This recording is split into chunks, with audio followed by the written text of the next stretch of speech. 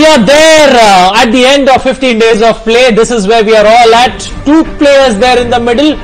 One, Rafael Nadal, the other, Novak Djokovic. They're all ready to battle out for the Australian Open, the first Grand Slam of the year. Who will walk away with that coveted crown? We'll come to know in a little while from now when the big action starts there uh, in Melbourne. But to get a perspective on what could go right, could it be you know, a second uh, Grand Slam Australian Open title for Rafael Nadal or will it be number 7 for Novak Djokovic? We'll find out as the match progresses. But to get a perspective of what could go there in that Big Bang Tennis, a classic of a match that we're expecting to happen. Two experts in the studio joining us, Yuki Bhambri, somebody who's played for India for long. Yuki, welcome to the show. Thank you. Gaurav Seth, as always with us, an expert there on tennis, commentating this time in the studios with us. Good afternoon. Uh, pleasure to have both of you here. Yuki, looking at it first up, Nadal versus Djokovic. Not much to choose from looking at the last time in 2012 when the two champions met. This time around, do you expect something different? I expect it to be another battle. Another, you could easily have another five-hour match of a cracker of a match going on, and it's very, very difficult to choose. I think Djokovic, being a world number one, has obviously been in scintillating form, but you can't count Rafael Nadal out either. Okay. Uh, Gaurav, last game that we saw, 5 hours, 52 minutes was the action in 2012. This time around, do you expect it to be much shorter, much snappier, or another 5 set long I, I, epic I think battle? uh, much shorter just by definition because they've changed the rules and True. the clock now between shots and also of course a super tie break in the fifth fifth set. set.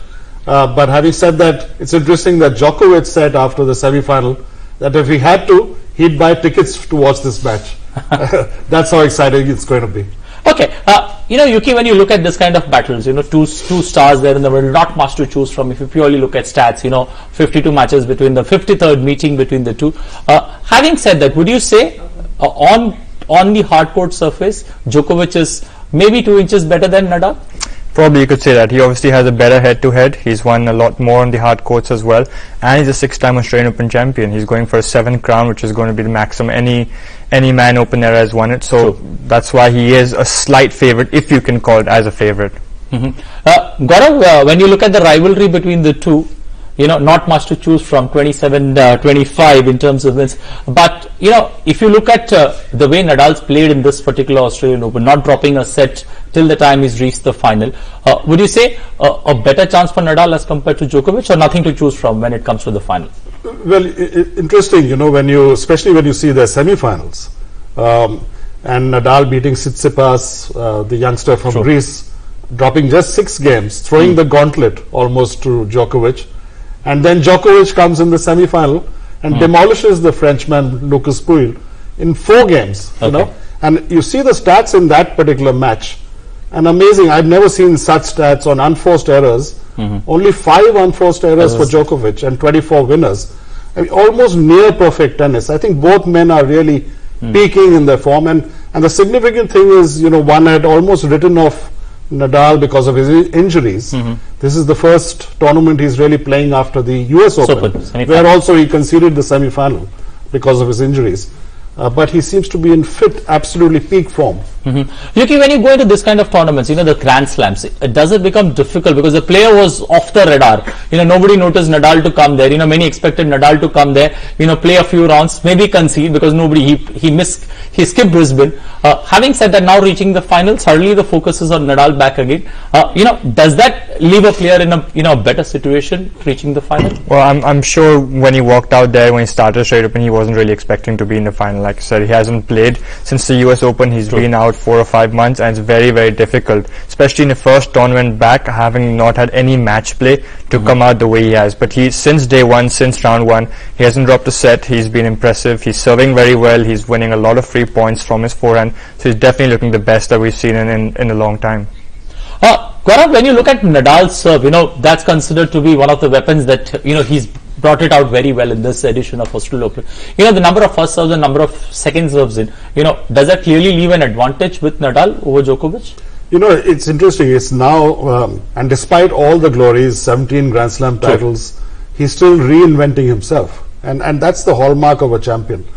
Remodeled his serve in this off season. True. And he's serving now much straighter uh, and with a different action, a much sleeker action. Also putting less pressure on his knees, which are True. prone to injury. And his average speed has gone up almost 11 miles uh, per uh, hour, which is quite significant Okay. on both the first serves and second serves. And one interesting stat I wanted to share actually, which is on his first serves at this US Open, 81% of the points won by Nadal with an average rally of 3.5 or so. You know, so he's just killing it thanks to his first Okay. serve. And Okay, let's look at this graphic play that's coming on your screens. You know, if you look at the two players there, Djokovic 31, uh, Nadal 32, world ranking world number one versus world number two. Grand Slam titles, the two between them have shared 31 Grand Slam titles. And Australian Open, Djokovic has won it six times before Nadal, the first time that he won it way back in 2009. In terms of style of play, right-handed, left-handed, and head-to-head Grand Slam finals, Nadal leads uh, over Djokovic by four finals to three. Well, time now we'll discuss that particular element, but uh, before that, let's slip into a short breather here. On the other side, we'll keep this discussion going on who's going to make it count tonight.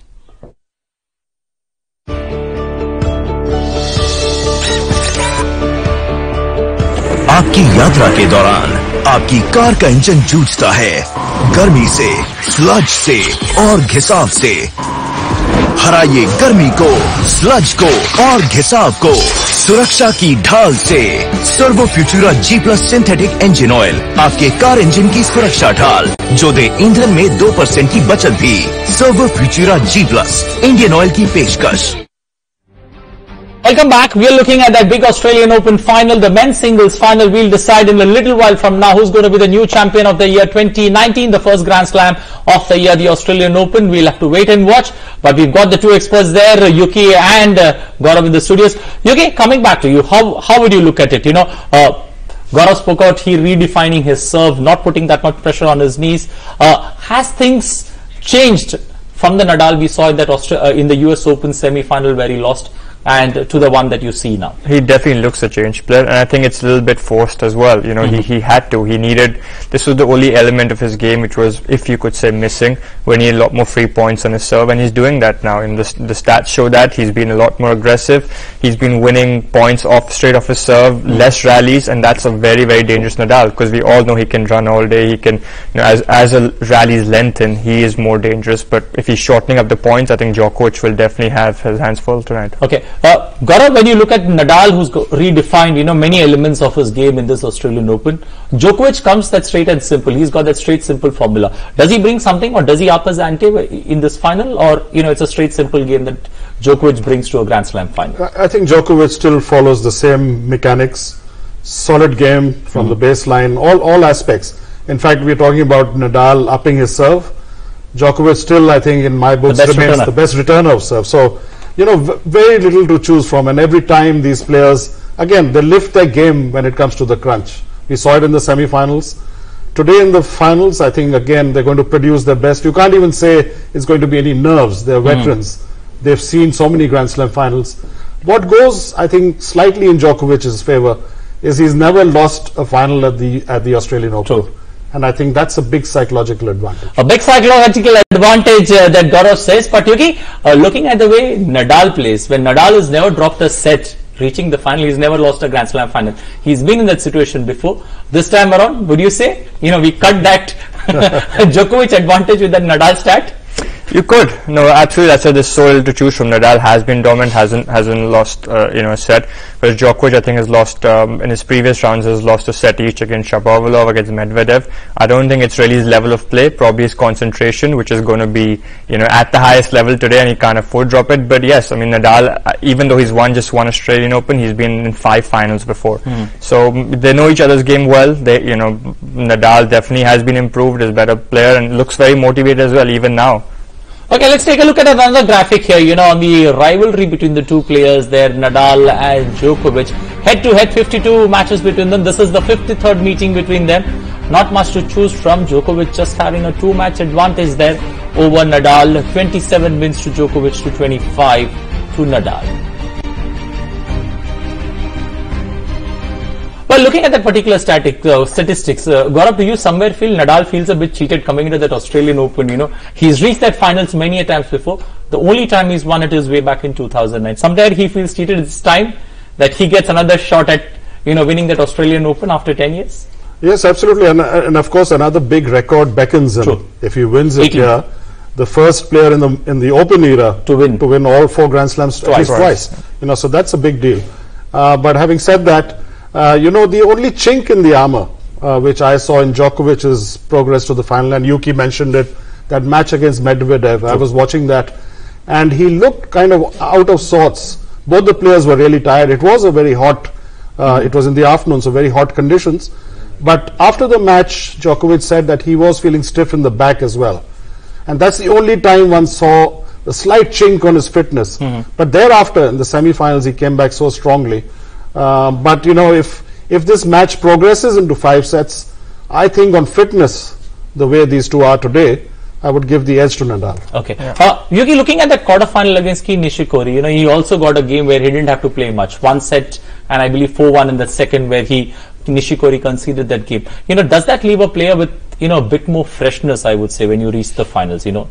Your seventh game there inside a fortnight, does that leave you with a little more fresh pair of legs? Absolutely, I think Djokovic really needed that. Um, he's coming off really two four setters. You know, like Seth said, it, it was against Medvedev. We see him struggle a little bit at the at the end of the match, and and Nishikori as well had come a five setter. But I thought that that would have been a very tough match for Djokovic, and to win Grand Slams, you need to have something left in the tank. You know, if, if you've seen former champions as well, they've all gone, they've all breezed through their initial rounds. So you need something, and you need a little bit of that extra to win a Grand Slam. And I think Nishikori retiring did Djokovic a big, big favor.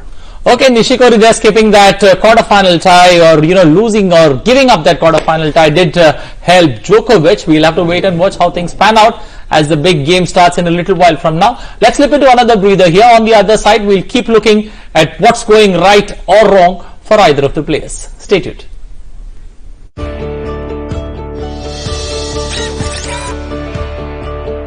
आपकी यात्रा के दौरान आपकी car का engine जूझता है।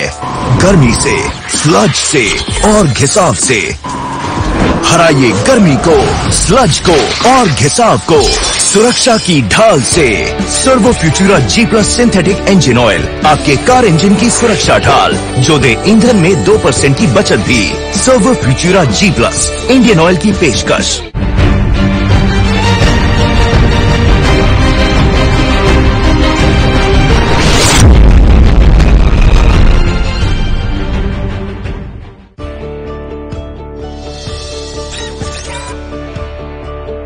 आपकी यात्रा के दौरान आपकी कार का इंजन जूझता है। गर्मी से स्लज से और घिसाव से। हराइए गर्मी को स्लज को और घिसाव को। सुरक्षा की ढाल से Servo Futura G plus synthetic engine oil आपके कार इंजन की सुरक्षा ढाल, जो दे ईंधन में दो परसेंट की बचत भी। Servo Futura G plus Indian Oil की पेशकश।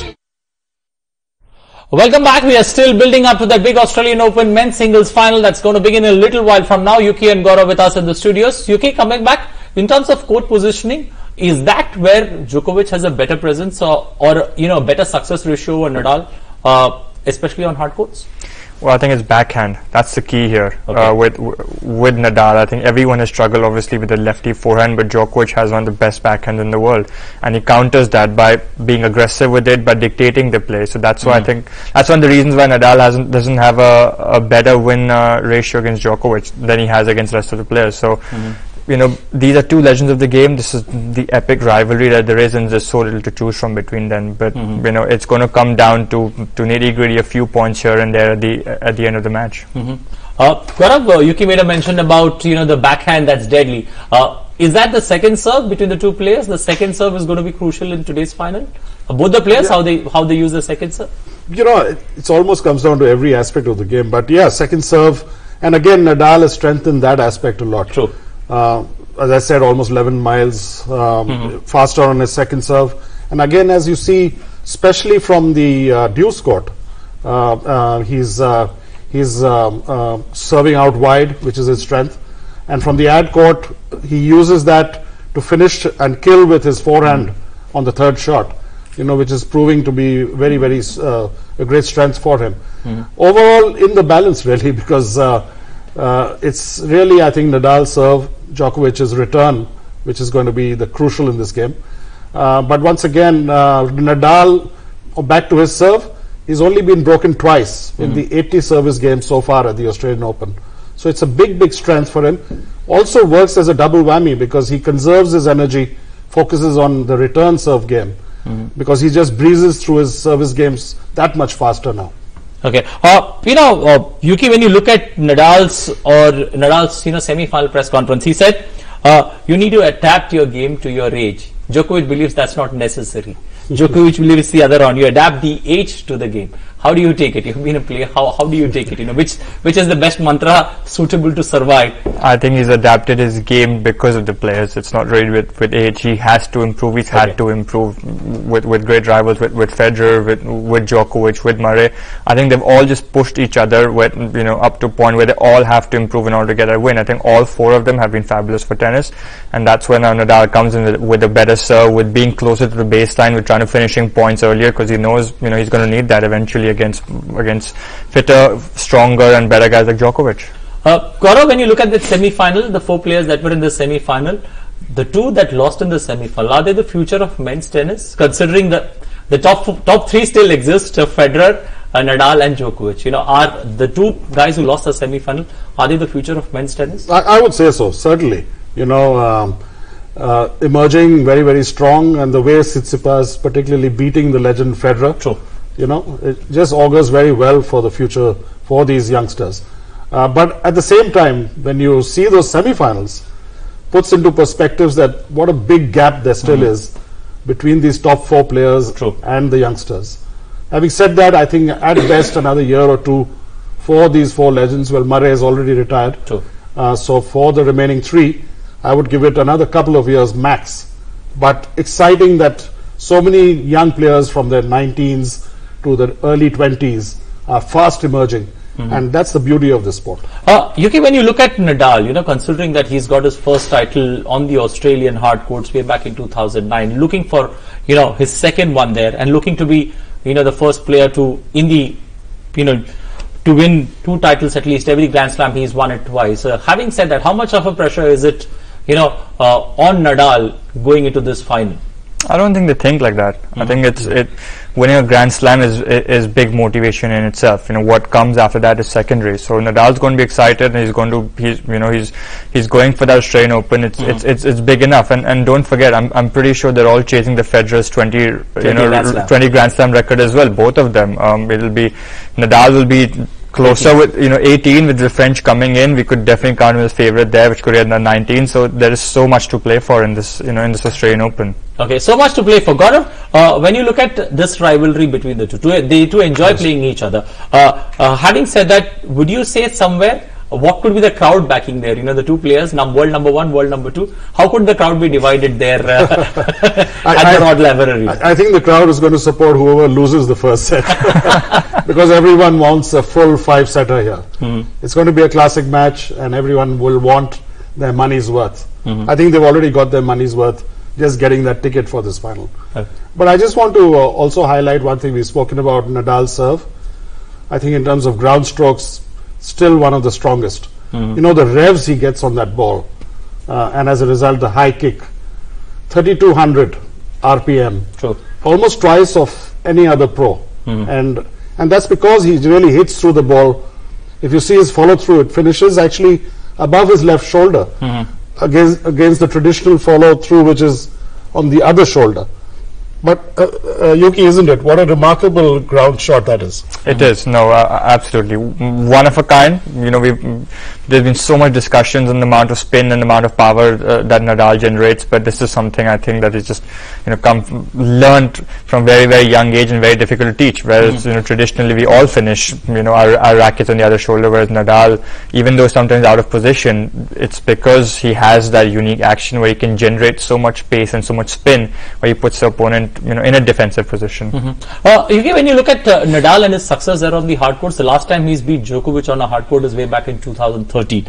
You know, it's almost seven years now. Uh, having said that, you, you made a mention these th- records don't play at the back of the mind of a player. Uh, but walking into a Grand Slam final, you know, somewhere deep down, uh, these stats generally, you know, I believe players stay out of looking at the newspapers, but these stats generally are cropped up. You know, how does a player look at it, these kind of stats, you know, walking into that Grand Slam final there at the Rod Laver Arena? Well, in my opinion, I think when they step on court, you know, when when, when it's called play, uh, everybody forgets about it. The player, you know, uh, uh, being in situations where you have win loss records, um, you know, once you're there, you focus on your game plan. I'm sure you know, both of them come with a game plan, and and that's what they're really going to focus on on, on what to do, especially at, at a Grand Slam because it's a five setter. There's so many mini battles that need to that need to be won, so they have to constantly, you know, be be aware what's going on, be around them, be watchful, um, and having to adapt from each other. It's not a it's not a best of three set match where it's you know uh, two sets and, and that's it. You an opponent has a chance to come back each and every time, so they both will be wary of that and will have to adapt their game. So Okay, let's take a look at a final graphic there. In the head-to-head meetings, the last five meetings between the two players there, Nadal and Djokovic.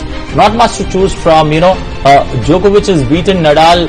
I think the last time that Nadal beat Djokovic was there in the Madrid Clay 2017. I beg correct that there 2017 and uh, 2018. Both the other is clay and grass, where uh, Djokovic had one win and Nadal beat uh, Djokovic there in Rome in 2018. Looking at the stats going into this particular final, not much to choose from between the two, but who do you think is your favorite? Your favorite pick for that final between the two? Too difficult. Very, very difficult question. Uh, tough pick. I would say 51-49 Nadal. Nadal at five. But I think I'm stretching my neck there. Stretching my neck, but he's, he's he's still putting his money on a five setter there. Nadal versus Djokovic. Yuki, how would you look at that particular game uh, between the two? A Yeah. five setter, and who has the edge? I uh, would definitely put money on being a five setter. I think the uh, you know the head says Djokovic and the heart says Nadal. the head says Djokovic, the heart says uh, Nadal. Uh, Gaurav, uh, when you when you look at uh, you know the Australian Open, the way it's panned out, uh, and the amount of 128 players that you saw on that single stuff, uh, any promise that you saw? Uh, Youngsters definitely. the two we Uh, talked about. Any other promising um, player that you saw? you know, I think, and, and they're emerging thick and fast. Um, uh, Zverev is another one who's, uh, uh, you know, I think very go- soon going to win a Grand Slam. Uh, but I think of these uh, players, and, and both uh, on the men's and the women's side, in fact, the women's game getting even more unpredictable. Uh, you, you really can't predict. Uh, the men's has been um, a lot more. You see the top Right, four yes. winning every Grand Slam, or at least three out of the four every year. But I think in the women, it's it's a complete toss-up. It is. No, I mean, e- even the men's side, apart from obviously um, uh, S- Tsitsipas being there, Zverev, um, don't forget Dominic Thiem, who played played the finals of the French Open last year. De Minaur from Australia, who, who who lost to Nadal. So there's, I think, there's no great deal of players who are who are going to come and going to challenge, um, you know, the next generation uh, for for future Grand Slams. Uh, Gaurav, you look at it. Do you do you see a change of guard that looks very imminent in men's tennis now? I- I or would or say would you so. would you say you will you will extend it till the end of 20? I, I would say so. Uh, Let's look at Federer, for example. I, uh, clearly, I, I think his best chance is at Wimbledon on grass, uh, on hard court, struggling now. But he's had a great innings, and uh, so I would give another year or so max. And similarly for these two, Nadal's style is so abrasive, so hard on the body, and he is remodeling all the time. But you know, it's a matter of time, maybe two years max. Djokovic, on the other hand, again, you know, to play singles at this level, um, two or three years max. They're both 31 and 32 now. So in the next two years, definitely, we should see a lot of change. Uh, Yuki, would you expect it to finish in straight sets? No. it's never happened before, just once. I- I- just I- looking at some history. I, I cannot see that happening in straight sets. I think they're just the two good players. There's, you know, there has to be uh, one of those epic matches, and especially in Australia. I think they've had plenty of them. This is not a straight set match. Okay, Gaurav is making a mention. It's not going to be that long because Nadal is closing up things pretty quickly. Uh, a five setter you predicted. Uh, uh, would you expect, since that you know the fifth set is now going to be a tiebreak, does that make things more juicier, more tighter for the two players there if it if it goes to the fifth set? Yeah, certainly, and, and nerves definitely come in. Imagine a situation where a Grand Slam is pivoting on that final set, deciding tiebreak. So nerves will come in, but both these players are so seasoned uh, that I, I'm sure they're going to try to finish it off even before that eventuality. Uh, Yuki, how, how differently do you approach a Grand Slam final where the fifth set is now in a tiebreaker? Uh, does that does that make make it difficult for a player somewhere to adjust? Because, you know, uh, it's a tiebreaker at the end of the day, the fifth set. Well, it makes it interesting. The nerves definitely come into play. I know that you know, having played this rule, they have it in doubles, uh, where you know, as a ten-point tiebreak to finish it off as well. But I, I think it's a good change. If you haven't really decided a winner till about six all in the fifth set, you know, there's no point playing those those extra games. So it, it, it makes it entertaining. Definitely makes it entertaining for the crowd. Um, but the nerves would, I would see the nerve, I could see the nerves come in. Being a Grand Slam final, having one point to decide, uh, you know, and, and to make history.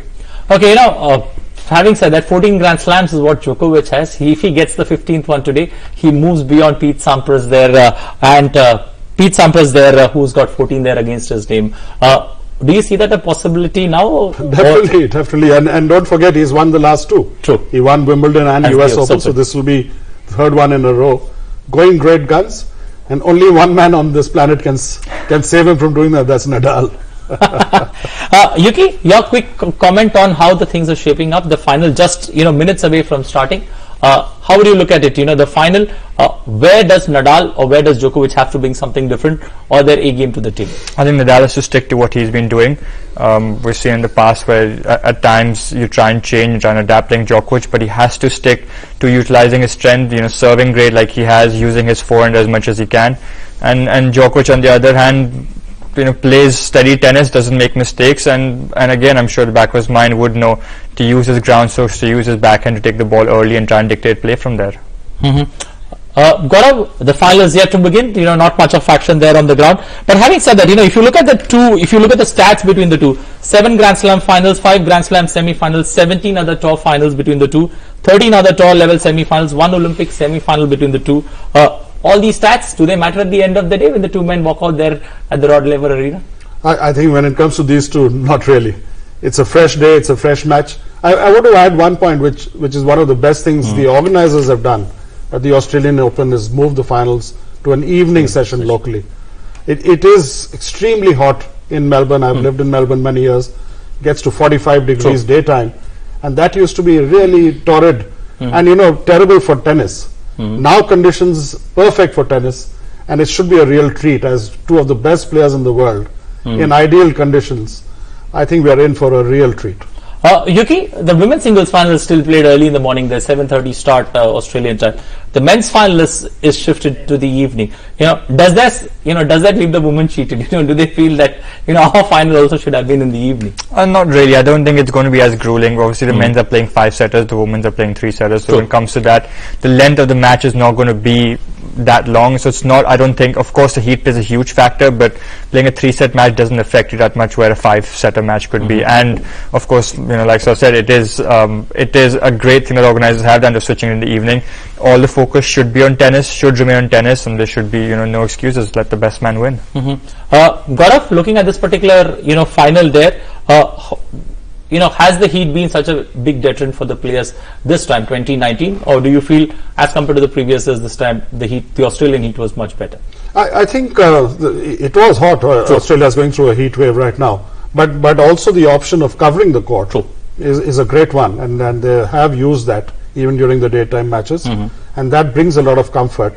Uh, and, just uh, in, in terms of the temperatures, actually, uh, even with an open court, there's a significant drop for 45 degrees at two in the afternoon. Now it'll be in the mid 20s, so almost a 20 degree drop. That's how significant it is. And in the mid 20s, perfect conditions. Okay, uh, is that the future of sports? You're playing indoors. You're looking at the 2022 Football World Cup, which could be played indoors. at least two stadiums are ready uh, in Qatar, where they they're planning to host the 2022, you know, World Cup. I think Uh, it- is that is that the future of sports that we're looking at? Uh, well, in, in terms of tennis, I don't think so. Um, Australia, uh, actually, all the slams or most of the tournaments also have the heat rule in place. So if it goes up to a certain degree, um, play stopped after the end of set. They have that, um, and and I think Australia is one of the only places where it is so so hot du- during the day. But most of the stadiums have covered courts now, so if they need to use that, they can always do that. They have the heat rule in place. I think it's um, uh, you know tennis would probably still stick outdoors for most for most of the year. Okay, tennis will stick outdoors for most of the year. Uh, Gaurav, uh, still time to start for that final uh, there between the two players. You know, how would you look at it today? We've, we've spoken of, of almost all the elements that could be there in the final. But any surprise element that either of the players could bring to the table today? I, I, I just hope and pray for all tennis lovers that both players stay fit. Both have had niggling injuries. Both are in peak form coming into this final. And I just hope they keep their fitness. And I think we'll be in for a real treat. The only surprise and a nasty one could be uh, uh, Djokovic is back or Nadal still has a strapped up abdomen after his recent surgery. Hopefully, touchwood, they will stay fit through this final. Yuki, looking at the final, any surprise element that you could think of the two players could bring to the table? Well, in the last slam that they played at, at, at Wimbledon, I think Nadal came to the net a lot more, um, especially in, in the fourth set. So that's something where he changed up tactics after rain delay. That's something you know we we could see him doing it as well. But like I said, I think he's been aggressive. There's definitely uh, a, better looking Nadal already. So Djokovic would have his hands full coming into the match with you know a, a more aggressive Nadal sticking closer baseline and and putting adding more power um, to his shots. Mm-hmm. Gaurav, uh, the, the, the two have played 53 times before there, you know, at the big stage. Uh, you know your game inside out. Both the players know their game inside out. So how differently do you prepare for a final when you come into this kind of a situation? I, I think the only person who's uh, will be a little more wary now will be Djokovic. Nadal, there are no surprises on Djokovic's game. He's not changed his game at all in the last eight nine years. Nadal now, uh, Djokovic is kind of guessing on his serve because he he has been obviously watching him, uh, but he's not played him for a long time, especially on this surface. Seven years back, It is a new invigorated Nadal he's facing, and therefore he's in for a bit of a surprise there. hmm Both the players they're still saying, you know, Nadal Nadal is a favorite. I will, would you agree? Nadal is a favorite or Djokovic? Nadal with a, but only just.